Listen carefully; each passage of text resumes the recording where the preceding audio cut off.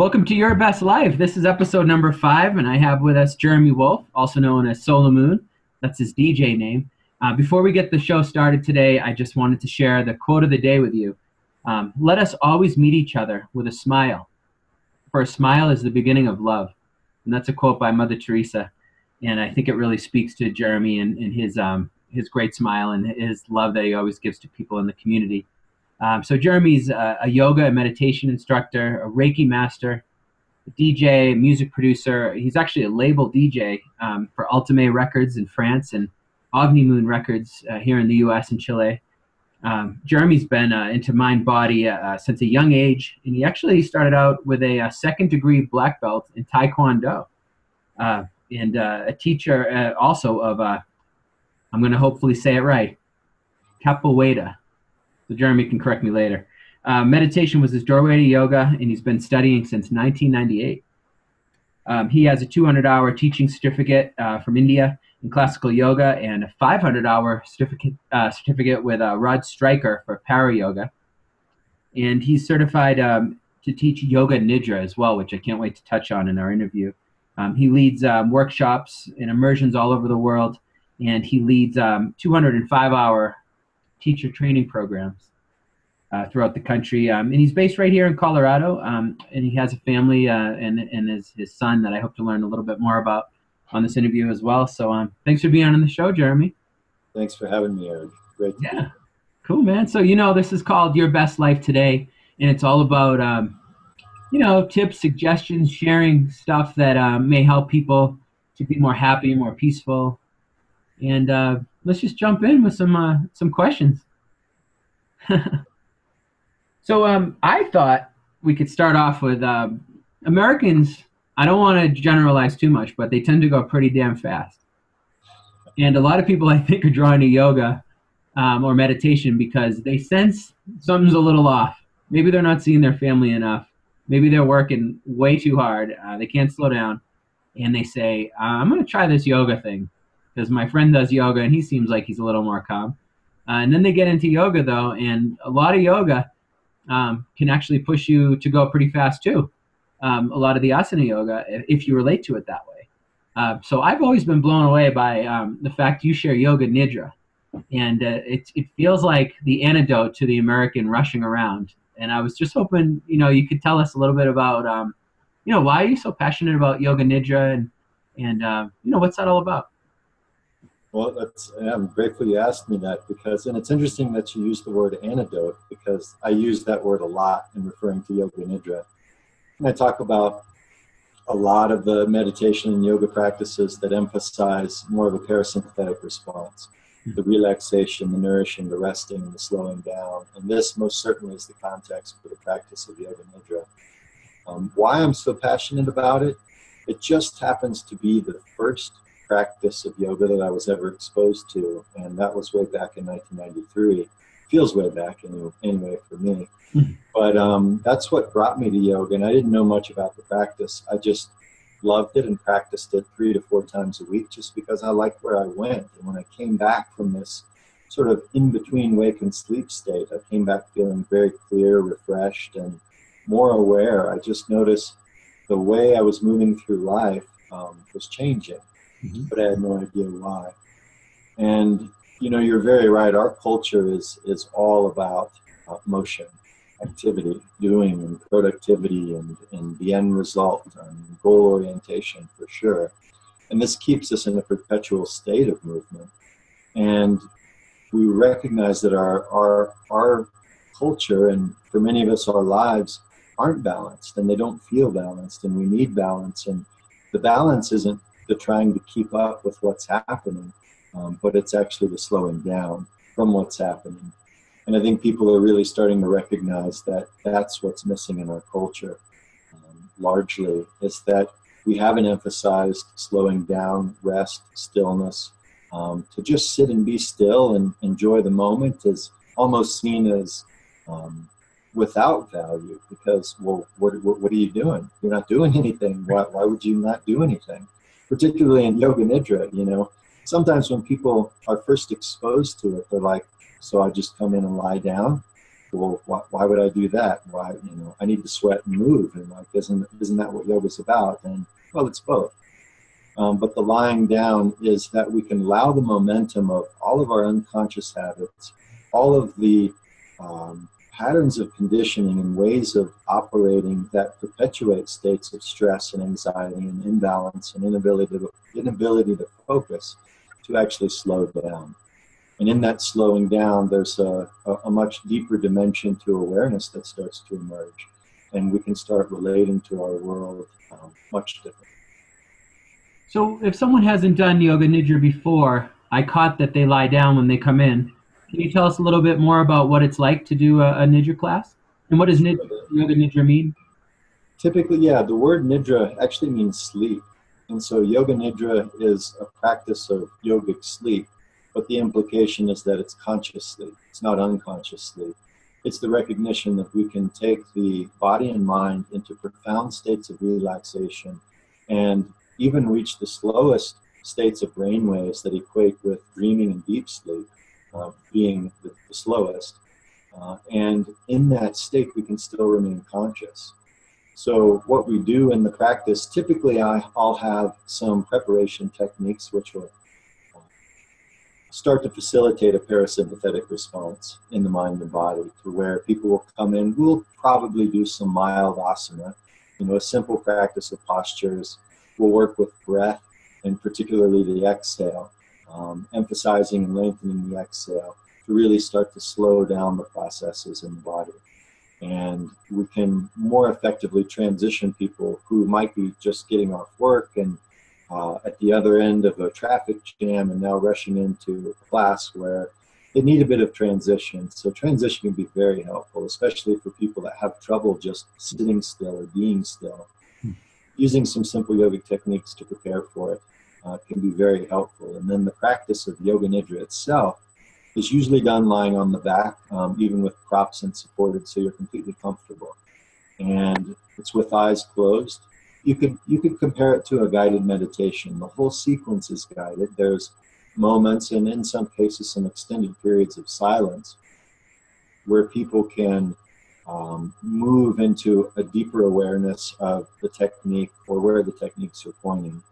But typically, it's just a passive practice for the most part um, that's completely guided. I, I cue people through a very elaborate sequence that takes people from physical body awareness and, and external world awareness into um, the deepest states of internal awareness, calm, and ultimately peace that lies beneath all the layers of agitation and conflict that, that we usually identify with. Sounds pretty great. I um, slowing down. I've been on this path for 15 years, meditation and yoga, and I just had my teacher tell me, Eric, just go sit and look out the window for an hour a day and do nothing. And I, um, I thought, oh, that sounds nice. And it was actually the hardest uh, instruction I've ever gotten. And what I didn't realize is I, am sure a lot of uh, the people listening or watching maybe can relate.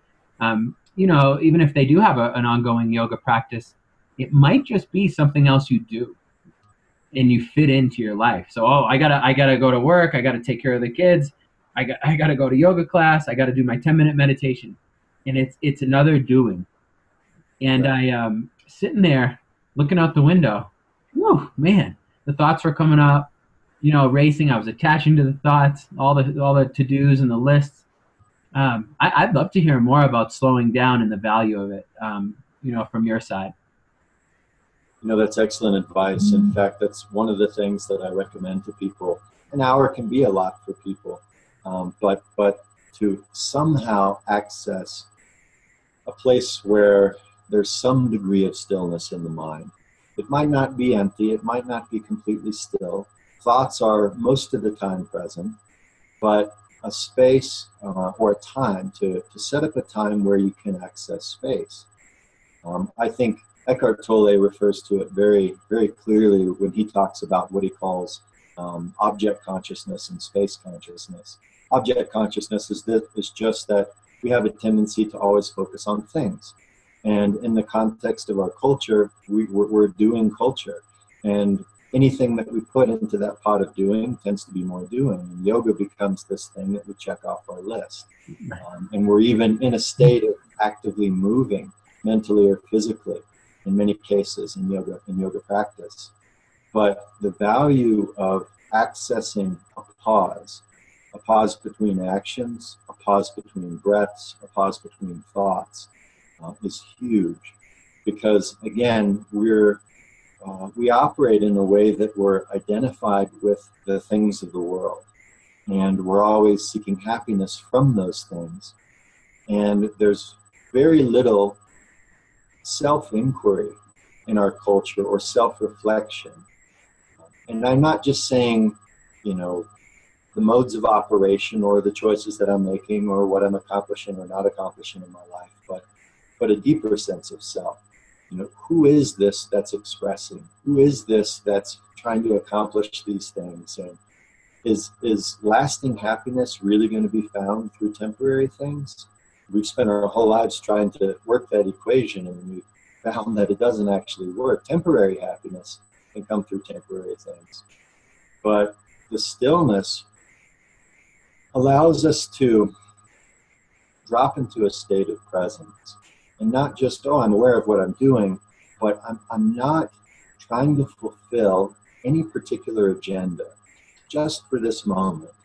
And i'm just appreciating the gift of breath or these five senses or that i'm in a body that there is this extremely extremely elaborate system that's so much more than thinking of myself as well i'm a i'm a person living in a city but instead more I'm a human being um, as a as a vehicle for consciousness or intelligence or creative expression that's living on a planet that's living in the universe that that has a, a, a much bigger context than just you know, what I have etched into my schedule seven days a week.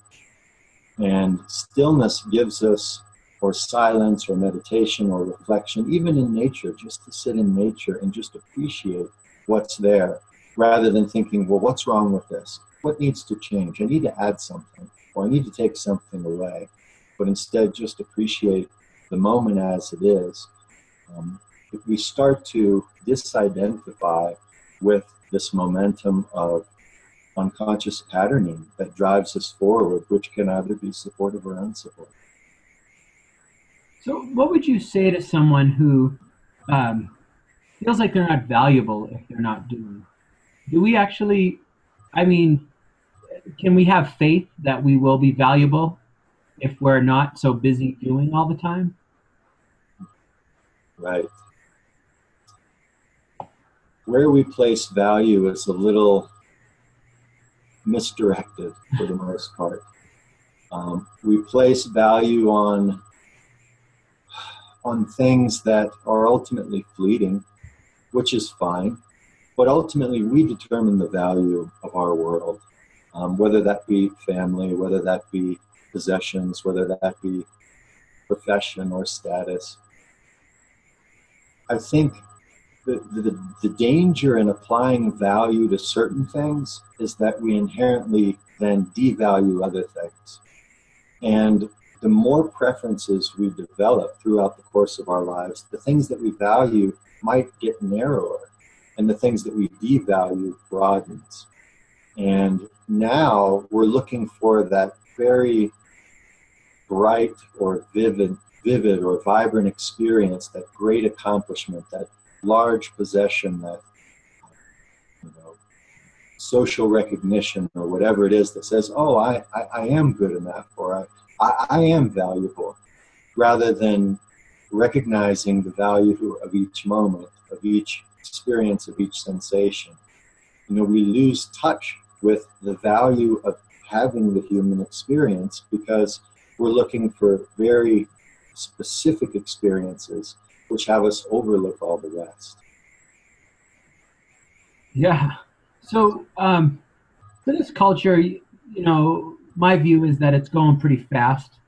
Say um, someone listening to this show starts to slow down a little bit. They have their practice. They start to appreciate, you know, the, the moments with their family that with just being on their own in nature, like you said.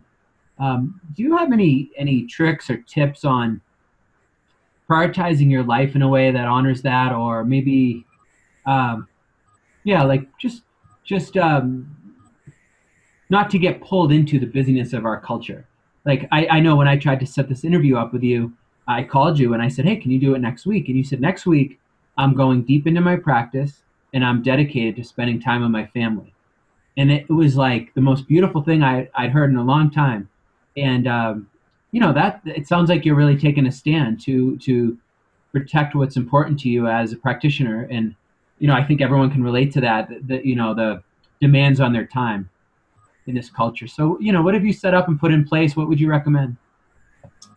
Well, again, we live in a culture where our greatest value is on the future. It's on the promise that whatever's wrong with this moment will eventually be fixed. And in that moment, I'll allow myself to be happy. I'll allow myself to experience a state of contentment or fulfillment because I'll finally have achieved that thing or fixed that thing or released that thing or solved that thing. And, and the reality is that it's we're simply deceiving ourselves out of being happy now. Um, we place value on a moment that ultimately doesn't exist. And by nature, um, going back to one of my previous points, we now devalue the present moment, which is the moment where everything's happening, the moment where life is happening, the only moment, in fact, of course, where life is happening. And if we don't value that, if we're compromising the quality of our experience of this moment, well, eventually what's left is little time. When we realize, gosh, I did achieve this or that, and well, my happiness lasted a little while, but that wore off because desire is endless. Desire is completely endless. So we're perpetually seeking the future. So the key is absolutely to um, step into the sacredness that's inherent in the present moment, which is which is valuing everything about it. That it's so completely fantastic and incredible. Um, and we, you know, all of that comes from our tendency, which is from the mind, which is its job, um, which labels things. So we label things, and as soon as we label something, we now frame it as a concept in the mind, and we distance ourselves from that very experience. Um, as soon as I label a tree, I often stop paying attention to the tree. Not even really looking at the essence of the tree or experiencing it, but I'm now just living out, oh, yeah, that tree reminds me of that tree from my grandma's house as a child or something like that. So it's, it's not that everyone needs to meditate, though, great recommendation. will definitely change your life. But to slow down, um, to experience stillness. And some of the ways that I recommend doing it one is breath awareness. And breath awareness starts to, if you allow it, take you into the experience of the present moment. It's not this concept of the present moment that is somehow always a means to an end, um, but that there's this infinite realm of sensations and experiences that we can have just by going deeper into this moment. And so, breath, um, I would even say, a very simple breath you can do is practice breathing um, and lengthening your exhale. A longer exhale than inhale is going to start to facilitate that parasympathetic response. It's going to start to lessen the momentum of this constant chasing or seeking outside of the present moment so that we can actually land here and at least temporarily arrive here and enjoy it here um, really appreciate it here. So something as simple as closing your eyes, and you don't even have to do that. You could do this traveling in your car, but lengthening your exhale, make it longer, and just feel the effect that it's creating while it's happening. Breath is one of the most profound and fastest ways to shift our physiological and psychological experience. and we can do it mm-hmm. instantaneously. So that would be one suggestion for how can I slow down? How can I disengage from the need to not be here? Um, that would be one way. And a common practice across meditation, uh, meditation traditions and yogic tradition is the practice of witness awareness. And it's really just being with what's present without acting or thinking for or against it. This is good, I want more of it. This is bad, I need to get away from it. Can I just be with what's present? And a simple way to do that that I that I often encourage people to use is access your senses. Not what we usually do when we access our senses is we're, oh, I like that sensation, I want more, I'll reach for more of that, or oh, I don't like that, I need to get away. But just be present, place your attention. You know, so as I spoke before, typically we, we have an experience, we have information that flows in through the senses, then the mind creates a concept about it. Then the experience that we have is, is really about the concept. It's not about the sensation itself. It's this um, looking through a lens that now projects onto that experience all of our uh, judgments, all of our uh, comparisons, all of our past interpretations and understanding, which could be accurate or inaccurate. And so the idea is that rather than being behind the concepts, having that experience, move your attention to the doorway of the senses. So sit with eyes open or closed, and certainly a quiet space or nature or something is most helpful.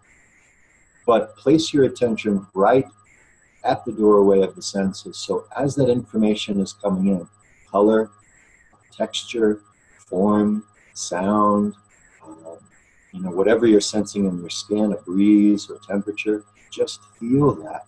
Just feel that. And, and the more you do it, the more you'll start to realize it's really incredible. And, you know, it, and it's always there. And that takes us into a deeper appreciation of the present moment, which is to say, a deeper appreciation of life. It's not just this psychological storyline that I'm playing out, trying to be successful or somehow through the external world create a sense of value internally. Wow, thanks for that, Jeremy. So the two major highlights there would be to slow down. A simple way you can do that if, if someone's listening and driving in their car or watching online, just um, exhale, make the exhale a bit longer and feel the exhale. Just feel the body. And then the other thing is, is the witness, um, you called it witness awareness. And that's kind of like you, you're usually enmeshed in the doing. And, um, and, and instead you're saying maybe kind of zoom back and see that that's separate from you in a way. Like you can watch the, the movements of the mind maybe. And, and then you said really tune into the senses. The same way people will sit at the edge of the ocean and just be taken into this deep sense of calm because they're just taking in the, the expansiveness of the ocean or the sky or the sunset or clouds or whatever it is. It's that just um, a calm sense of receptivity to what's present. Okay. And tell me this as a, a longer term practitioner. Um, does it take a while to develop faith in this? Because I know beginning meditators, and myself included, you, you think it's boring you think that where it's at because you've been doing it your whole life you think where it's at is busyness you know getting that job get just doing that next thing uh, that next thought it always seems so sexy and so interesting and so juicy right your thoughts just seem like where it's at uh, but over the years the more i meditate i see that where the real juice is and the real joy is is just slowing down and wow like i just i'll note hearing hearing or seeing seeing sensing, sensing what it feels like to have a body. And, and man, it is, it's beautiful stuff. Uh, like submerging like, yourself into a hot tub. Um, and you can do that in any moment. Yeah. So what, you know, does it take a while for people to get, you know, make that transition or what's, what, how do you feel about that part of it? Should we have faith that if we keep trying this, that's going to seem like where the game is? I mean, has that happened to you? Absolutely. Yeah. And you know, the thing is, you know, Patanjali in the Yoga Sutras talks about faith and that there's not a, a blind sense of faith, that you're believing something that's intangible, but that you're believing the endeavor is worth it. That, that, and I don't mean the endeavor of success, material success, but the endeavor of the spiritual quest. That, well, gosh, if I if I spend time doing whatever I love doing, that might be some kind of action, or it might be, you know, camping in nature, or, or floating down a stream, or if I'm doing something that takes me beyond my my life storyline, I get a sense that there's a much bigger picture than me, Jeremy Wolf, just going through my agenda trying to accomplish things. That you know, goes back to that sort of cosmic experience that we're we're spinning on a planet, you know, in a solar system, in a universe that we really have no concept of size or dimension or of, you know, personally. Um, we just sort of have these conceptual ideas of what that's like, but we start to sense that there's something much deeper and much richer. And what's key is to use whatever method initially gives you that sense of awe or brings you back into that state of um, sacredness. Sacred meaning that, that this moment or whatever I'm experiencing is extremely wonderful and beautiful and priceless. And in the beginning, when we sit down to meditate, it can be very challenging because we're thinking, well, gosh, my mind will not sit still. And what, what's, what's the point? I'm sitting here for 10 minutes, 30 minutes, an hour, and there's just like movement of thought. I'm thinking about past, I'm thinking about future. Oh, wait, I'm supposed to be meditating. Oh, there's more thoughts. Oh, I'm supposed to be meditating. So we go in and out of that experience. And what a lot of people don't don't recognize is that getting the mind to focus on something, first of all, use use use a technique rather than just trying to get the mind to be still. Give it an object for meditation. And most methods of meditation do essentially, whether it's the breath or the sensation of the body or an internal image or even an external image or a mantra or various things. But have an object that you can tie the mind to. Um, and know that the first stage, the first stage of meditation is concentration. So when people say, I, I can't meditate, I was sitting there and I had a moment where my mind was like focused and then it wasn't focused. And, and, and maybe it's one second, three seconds, 10 seconds. That's the first stage of meditation. So the practice of corralling the mind into a single stream, which by the way makes the mind far more impotent, and by the way, we all do at some level in our lives um, we, we can channel a deep sense of focus. The key is to um, do that in such a way that there's a lessening of our disengagement, our identification with all of the thought streams that are moving through the mind.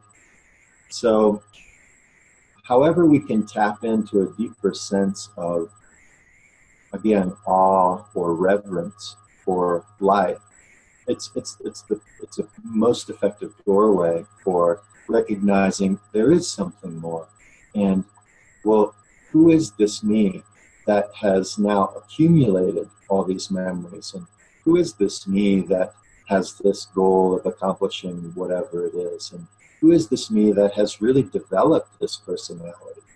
Um, what lies beyond just these constantly changing aspects of my body, my emotions, and, and my sense of self? And and I think when you start to have a deeper reverence for life, that that sense of faith really accompanies it naturally. So it's not that, well, my teacher said this will work, so I believe it, but I don't know, it's not working for me. But it's, you know, the idea that it, it, there, there is more available than certainly what our Western culture has emphasized.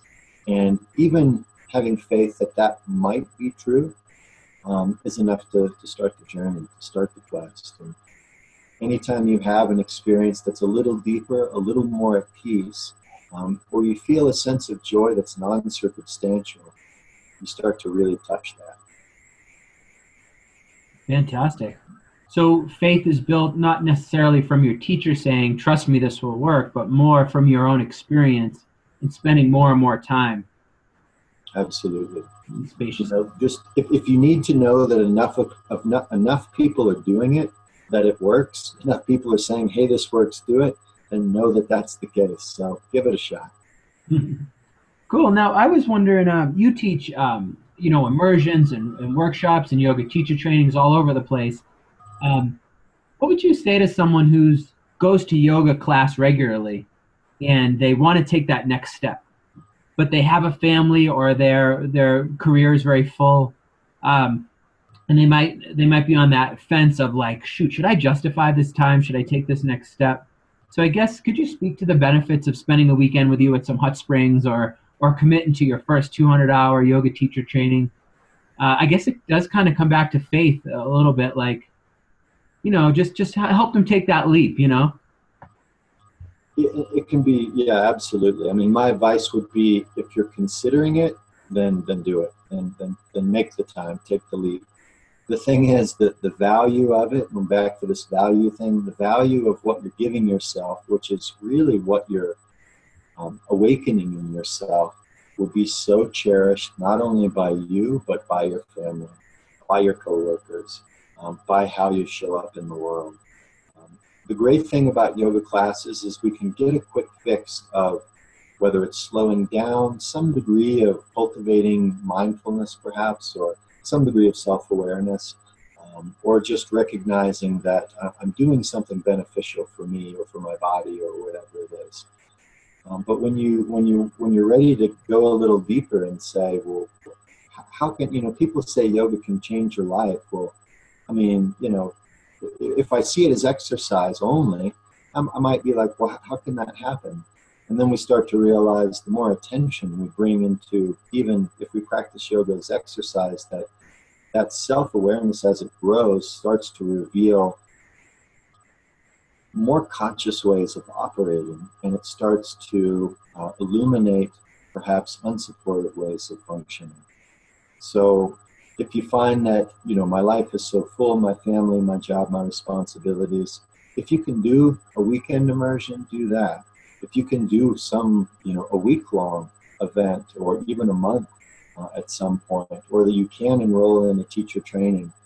The thing to remember is um, yoga, we see it as a practice and we schedule it. We schedule it on our day, we schedule it on our weekend, or you know, this certain time of year. Um, but the reality is, it's a way of refining how you are in the world and where you place your attention, how you relate to all things externally and all things internally.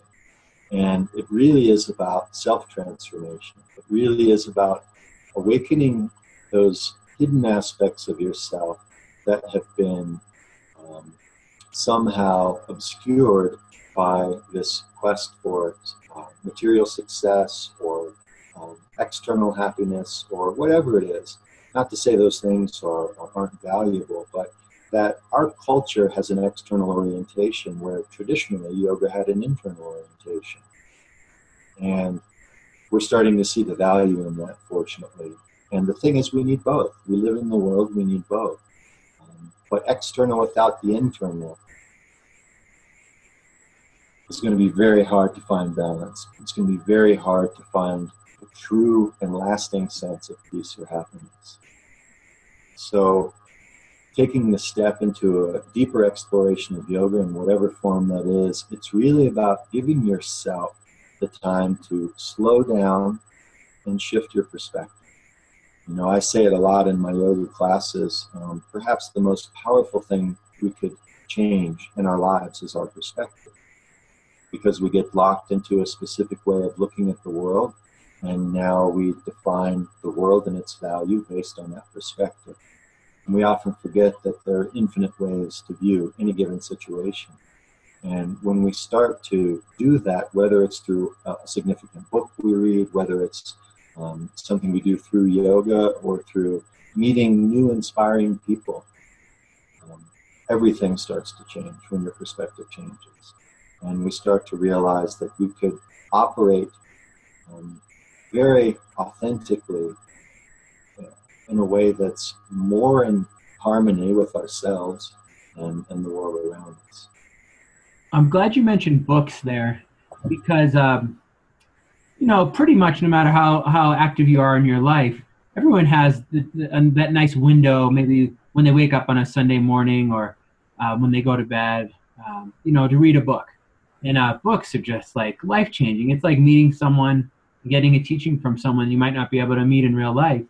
Um, are there any books that you'd recommend to um, our listeners and people watching this online that want to, you know, lead their best life? Starting today, you know, what book can they read? Right. Yeah. books are great, and you know that's even that would be another one of my recommendations for what can you do as a daily practice. Not it doesn't have to be read a book, but use reminders. Use reminders that pull you out of the rushing, um, the seeking, the reaching, um, even momentarily. It can be a quote, a paragraph, a book, whatever it is, uh, an audio talk, uh, you know, a quote from a calendar day or something, where it pulls you out of your your storyline for a moment and has you just be in whatever way that is. Um, there's a lot of great books out there. Um, the one I, I probably have a, a, number one recommendation, and it's just because it's by a contemporary teacher that I feel speaks in a way that's so relatable and applicable in our modern culture, and um, that would be Eckhart Tolle. I consider him one of my teachers, even though I've never studied directly with him. I've read his books and have lots of audio talks and retreats, uh, audio from retreats and such with him. And I feel like he gets to the heart of it very quickly. And I like teachers that teach in such a way that most of the things they say, um, you can't argue it. It's, you know, take this information, you know, integrate it, reflect on it, and, and see if that's true and you'll realize that it is. It's like, oh well, this is the nature of how the mind functions. Oh, this is this is how the mind functions in a way that keeps me in a state of perpetual discontent or whatever it is. Um, but I would say probably my top choice. Um, I just finished rereading it actually a few weeks ago, and I'm just it, it's just so clear and wonderful. Is Eckhart Tolle's book A New Earth? Mm-hmm. It's so comprehensive it's so accessible. And, you know, if, if, if, there are books that should be required as college curriculum that teach about how, how we can live or how the mind works, this would be one of those books that I think should be, it should be required. Any, anyone inhabiting a, a human body should be required to read this book because it's just that insightful and that clear. And you know, a lot of a lot of my teachings and classes and workshops and such, I, I use. You know, I, I sometimes say there's two ways to empower people. One is to give them tools to make them stronger, and the other is to reveal what what makes them weak, um, what's disempowering, uh, show them what's disempowering them. And I feel like this book does just that in such a wonderful way. I would say if someone's brand new to this idea of presence or mindfulness or meditation or spirituality, then maybe start with The Power of Now. Um, that's the, the, book that precedes A New Earth, and it's an ex- excellent launching point. And if you feel you're ready for more detail, more depth, um, then, then certainly go to A New Earth. I just think it says so much that needs to be said Um, that our culture does not say, does not teach, does not emphasize, and does not look at. Look at. Aside from that one, you know, there's a lot of great books out there. I guess depending on what what you're interested in, if you're looking, well, let's let's say going back to this idea of changing your perspective. I like books that make me question everything, and some books will do that, um, but I specifically like books that cause me to question my perspective or look at things differently. And another one that's really been a part of popular culture for a long time, but I just finally got around to reading it recently, was um, Don Miguel Ruiz's book, The Four Agreements. Mm-hmm. And I mean, it's just, it's a short book and it gets right to the heart of how we operate and how we operate in such a way that's very dysfunctional. And, you know, if I had read that book a decade or so ago, it, it would have given me some huge ahas.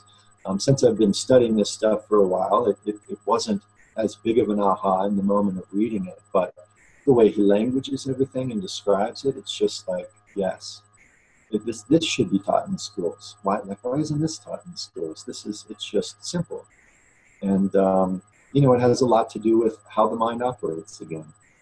Um, because our experiences are far less determined by our environment and far more determined by our thoughts about our environment, our thoughts about what's happening. I know you know this as a meditation practitioner, of course.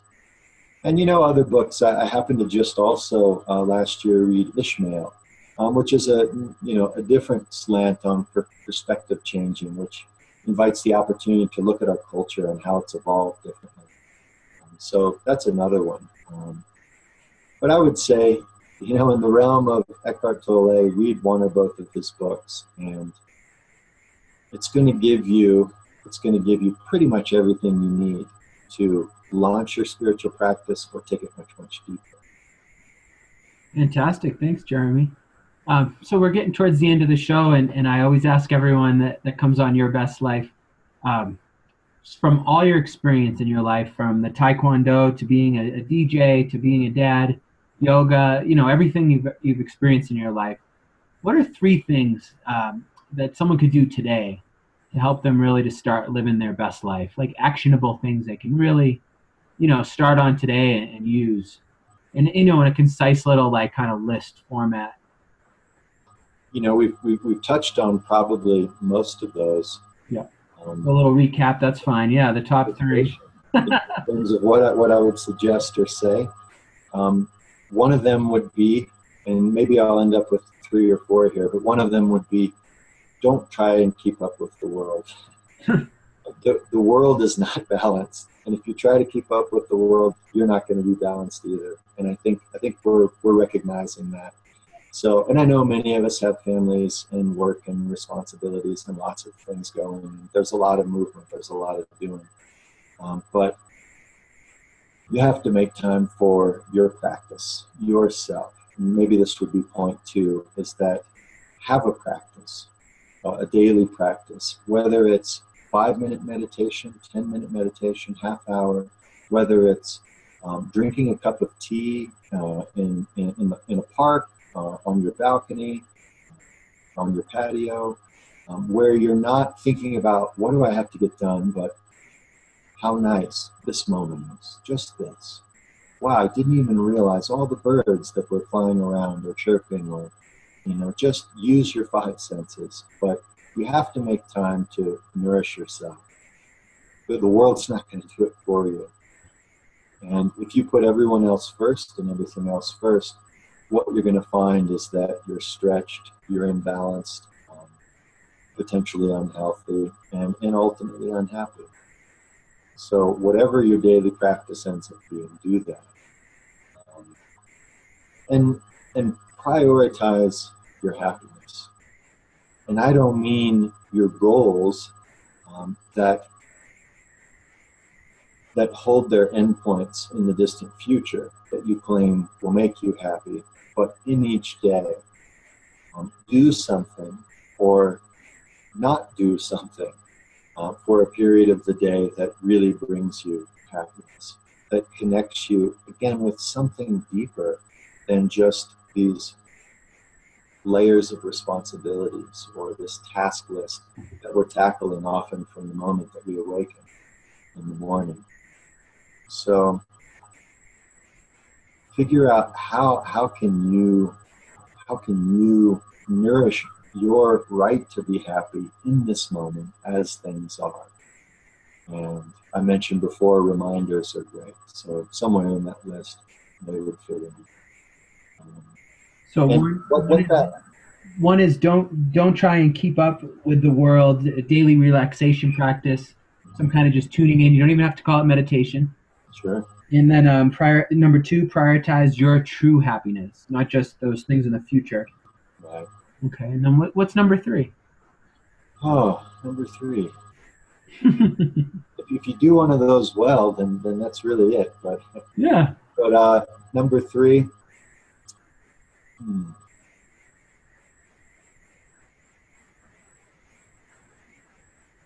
You know, like you could think of it like if you were. Uh, this is your last chance to share some, you know, some helpful advice with people. You know, what what are those things you'd say? Like, you know you've already said so much. I there's a lot there.